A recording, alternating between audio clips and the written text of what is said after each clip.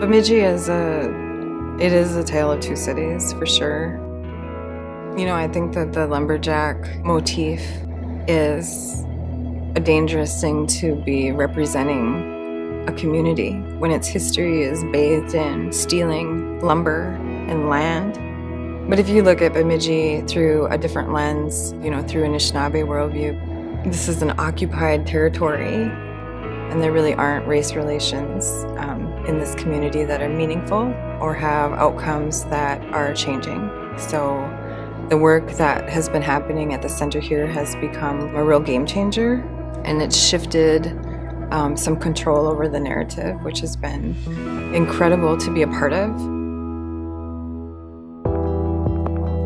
So Northwest Indian Community Development Center is a backbone organization to Ajumon. We have a wraparound services model here where people can come in and they want their life to be better. They're looking for something different and that might be something as simple as I want to participate in the activities that are here in the evenings to I want to go to college, get housing, I don't want to go back to prison, I need help.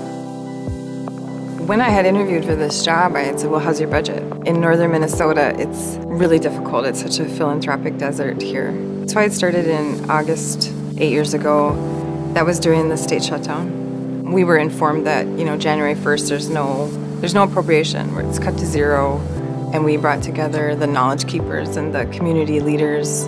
And so that had shifted our work from being a racially specific workforce program into a culturally specific uh, regenerative system. And we had no money at all, and we just brought the we brought the drum. Within a year, um, we were working with over a thousand people coming into this membership model, and within two years, it was 2,000 people. And we've just been really going ever since. And, you know, that's really evidence that culture cures, culture uh, heals, culture is prevention, culture is change. The transformation that came from that and that change is what Ajumon means.